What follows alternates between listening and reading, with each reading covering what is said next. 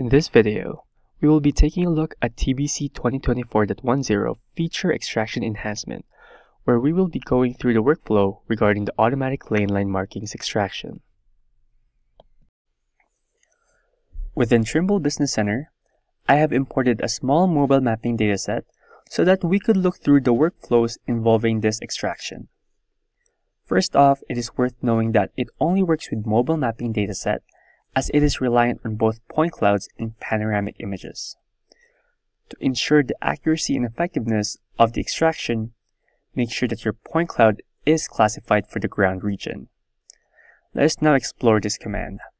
First, we go at the Point Clouds tab and select the Extract Line feature.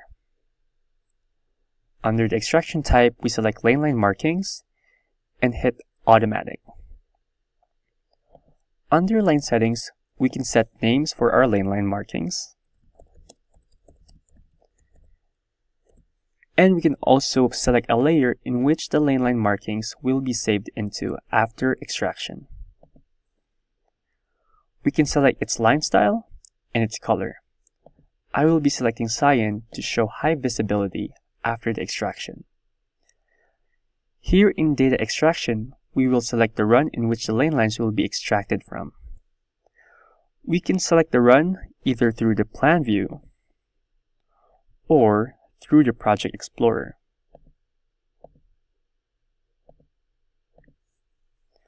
We can also select a run subset if we do not want to extract the entire run. We can select the start location and the end location through the plan view by clicking on it. Or we can also type the exact location where we want the extraction to happen.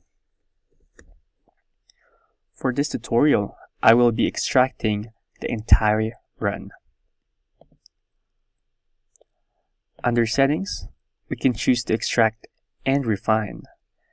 And we can also create points in the line nodes. For now, I will be extracting it regularly without refining it.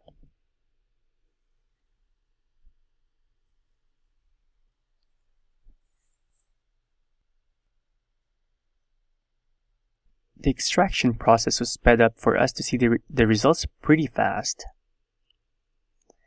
And so we can see that the lane line extraction has been done successfully. We can choose to refine it after the regular extraction, and that means the lane line will be centered on the lane line markings based on the paint intensity in the point cloud.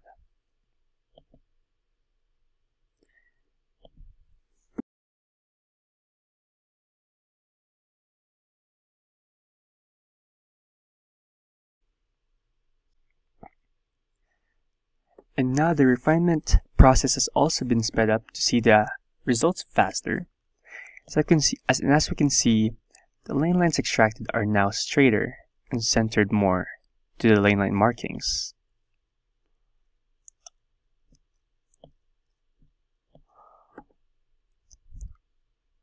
We can go then to filtering by limit extraction by trajectory.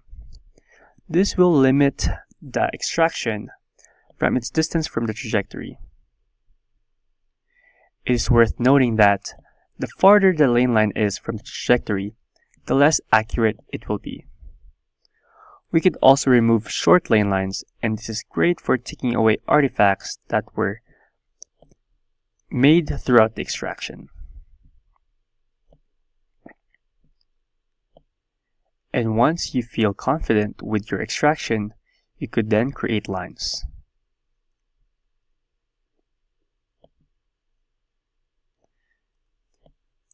We could now see that our lane line markings have been extracted automatically through the command successfully.